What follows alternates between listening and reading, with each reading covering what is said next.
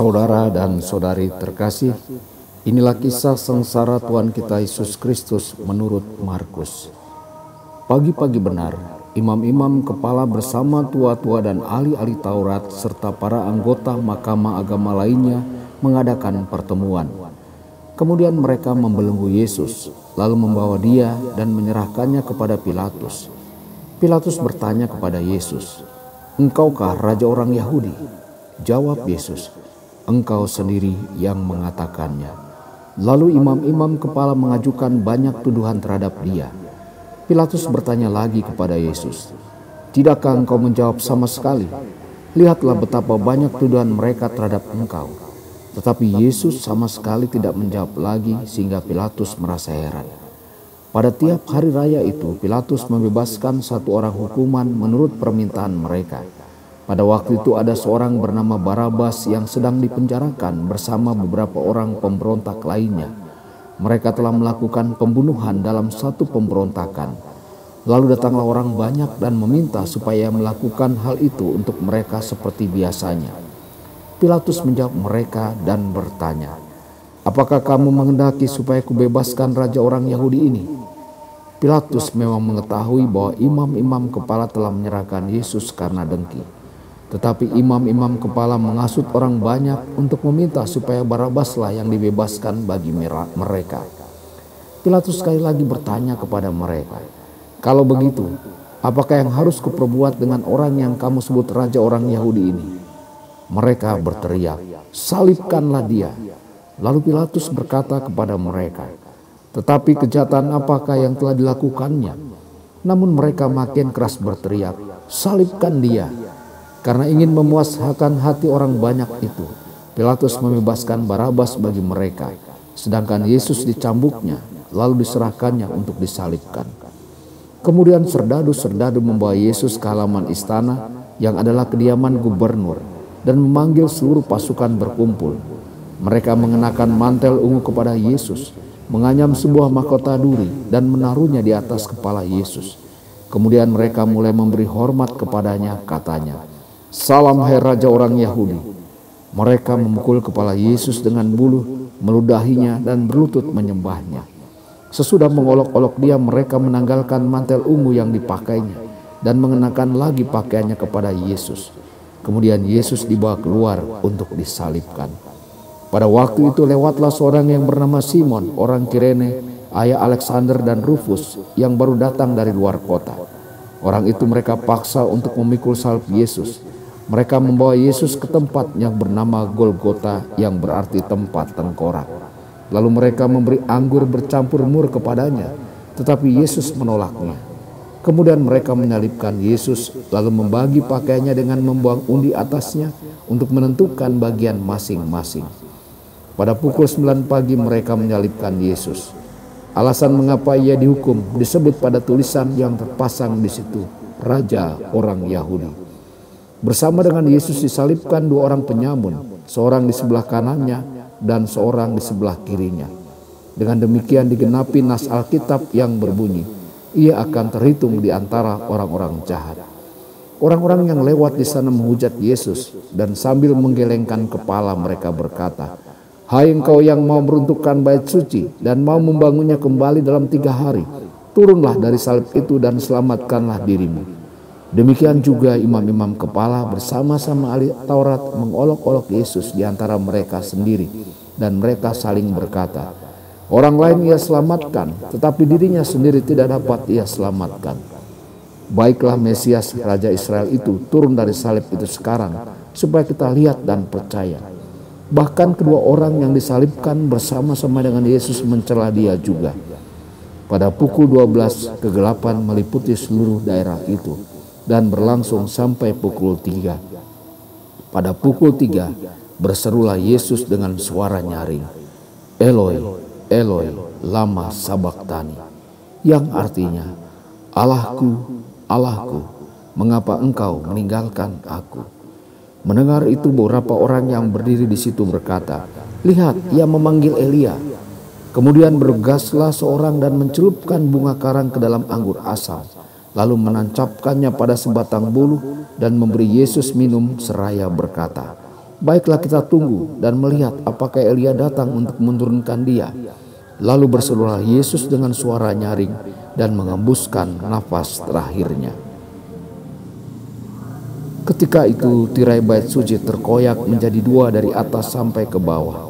Waktu kepala pasukan yang berdiri di hadapan dengan Yesus melihatnya, mengembuskan nafas terakhir seperti itu, berkatalah ia, Sungguh orang ini putra Allah.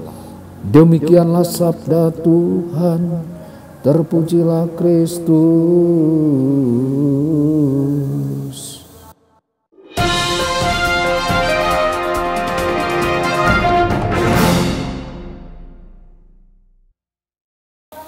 Saudara dan saudari terkasih di mana pun Anda berada, jumpa lagi dengan saya Romo Tedens dalam saluran Warta Kabar Sukacita Semoga Anda semua di mana pun berada senantiasa dalam keadaan sehat dan bahagia. Minggu Palma adalah rangkuman yang baik dari iman kita. Di dalamnya kita memadukan kemuliaan dan penderitaan. Dua sisi yang berlawanan dari koin yang sama. Dan semuanya masuk akal dalam konteks misi Yesus. Bacaan pertama untuk pemberkatan daun palma mengisahkan tentang masuknya Yesus ke Yerusalem dengan penuh kemuliaan Segalanya tampak berjalan dengan baik. Orang banyak keluar bersorak-sorai membahana. Orang-orang melepaskan jubah mereka dengan antusias yang biasanya hanya kita lihat di acara olahraga dan demonstrasi politik. Semua ini untuk menyambut sang nabi, pembuat keajaiban, penantang otoritas. Mereka tidak tahu bahwa dalam Injil Markus, Yesus memulai perjalanan menuju pintu masuk kemenangan ini tepat setelah transfigurasinya ketika dia menyampaikan kepada murid-muridnya tentang takdir yang menantinya. Dia berjalan menuju takdir itu bukan karena hal itu mudah, tetapi karena hal itu adalah misinya. Sepanjang jalan, murid-muridnya berdebat tentang tempat kehormatan, sehingga mereka akan menyukai kerumunan orang banyak dan jubah yang terbentang. Tetapi Yesus berkata kepada mereka bahwa ia datang untuk melayani, bukan untuk dilayani, untuk memberikan nyawanya bagi banyak orang. Saudara-saudari, Yesus memasuki kota dengan penuh kemenangan dengan mengetahui bahwa itu adalah kemuliaan yang hanya sementara. Sementara para muridnya mungkin berpikir bahwa mereka sedang menaiki gelombang besar. Namun inti dari perayaan Minggu Palma adalah sisi lain dari koin, yaitu sisi penderitaan. Kita mendengar pembacaan kisah sengsara. Markus menawarkan beberapa kisah yang saling terkait yang semuanya mengarah pada misi Yesus. Pertama, kita mendengar tentang perempuan yang menerobos masuk untuk mengurapi Yesus dan langsung dikritik oleh semua orang yang berkumpul. Yesus menempatkan mereka pada tempatnya. Jangan ganggu dia, katanya. Dia datang untuk membela mereka yang tak berdaya, yang miskin, yang terpinggirkan, yang tidak memiliki nama. Kedua, kita mendengar tentang pengkhianatan yang dilakukan oleh Yudas. Tujuan menghalalkan segala cara, Yudas menginginkan sesuatu, uang atau apa pun, dan Yesus adalah sarana untuk mencapai tujuan itu. Moralitas begitu mudah dikorbankan di atas mesbah untuk mencapai tujuan yang diinginkan.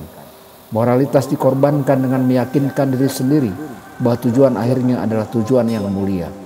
Itulah pemikiran Yudas dan tidak jauh berbeda dengan pemikiran kita yang masih sering tergoda. Ketiga, perjamuan yang dibagikan kepada para rasulnya Perjamuan Paskah adalah perjamuan yang merayakan rencana pembebasan Allah dari apa yang menindas umatnya dan pembuatan perjanjian. Yesus menggunakan perjamuan itu untuk membuat perjanjian baru dengan umatnya. Dia tahu bahwa waktunya terbatas. Dia tahu bahwa para rasul masih belum mengerti dan akan menjadi lemah ketika kenyataan menimpa mereka. Jadi dia harus meninggalkan sesuatu untuk menopang mereka di dalam kegelapan, di dalam lembah, dan dia memberikan kepada mereka dan juga kepada kita dirinya sendiri, tubuh dan darahnya. Tubuhnya yang mematukan kita dalam satu tubuh saudara dan saudari di mana semua tembok pemisah harus diruntuhkan. Darahnya diberikan sebagai cawan berkat dan cawan penderitaan. Cawan ini menyatukan sukacita dan penderitaan, terang dan gelap, kehidupan kita dan kehidupan dunia. Saudara-saudari, Yesus mengangkat cawan itu dan berkata kepada kita bahwa barang siapa yang meminumnya akan memperoleh hidup. Kemudian tibalah saatnya di taman Getsemani. Yesus memulai pelayanan publiknya di padang gurun dan di sana ia dicobai. Sekarang di akhir cerita, dia berada di taman Getsemani dan sekali lagi dicobai oleh kerasnya nasib yang menantinya. Seperti di awal, Yesus tidak jatuh ke dalam godaan untuk melakukan hal yang mudah, tetapi ia memilih untuk melakukan hal yang benar, yaitu kehendak Bapa dan kesetiaan pada misi yang ia terima dari Bapa. Keyakinan yang tak tergoyahkan itulah yang menopang dia dan menggerakkannya maju ke adegan berikutnya yaitu sengsara dan kematiannya. Saudara-saudari, kisah sengsara dalam Injil Markus merupakan kisah Injil yang paling pendek, namun diakhiri dengan sesuatu yang unik, Perwira yang melihat bagaimana dia mati berseru, sungguh ia adalah anak Allah. Tindakan iman yang menyatakan Yesus sebagai anak Allah hanya disebutkan satu kali dalam Injil Markus, yaitu pada ayat pertama yang mengawali Injil ini, dan sekarang di sini karena cara kematiannya. Kematiannya adalah titik puncak terakhir dari misinya. Kematiannya adalah pelajaran tentang apa arti aku datang untuk melayani. Dalam kematiannya itulah kehidupan dan pelayanannya dipahami. Dan ini tetap menjadi batu ujian bagi pemerintahan kita sendiri, panggilan kita untuk melayani. Barang siapa kehilangan nyawanya, ia akan memperolehnya. Di mana aku berada, di situlah hambaku berada. Dalam penderitaan dan kematiannya, keputeraannya dinyatakan sepenuhnya. Dan dalam kematiannya terhadap dirinya sendiri, kita diangkat ke dalam warisan yang sama. Saudara-saudari, Kisah sengsara Yesus dimulai dengan pembelaannya terhadap mereka yang terpinggirkan. Kemudian memanggil kita untuk menjadi satu dan meruntuhkan tembok-tembok pemisah dalam pembagian roti dan cawan. Melewati godaan untuk mengambil jalan yang mudah dan menggenapi makna pelayanan melalui kematiannya di kayu salib. Hanya dengan menyatukan kemuliaan dan penderitaan, kita dapat memahami proklamasi dan maknanya bagi kita untuk memandang salib dan berkata, Sungguh inilah anak Allah dan memohon kekuatan untuk berada di tempat di mana dia berada. Tuhan Yesus memberkati dan menyertai Anda semua. Sabda Allah adalah kebenaran. Sabda Allah adalah kehidupan. Mari kita mencintainya Mari kita menghayatinya Ya Tuhan yang ku muliakan. Sabdamu angkat resahku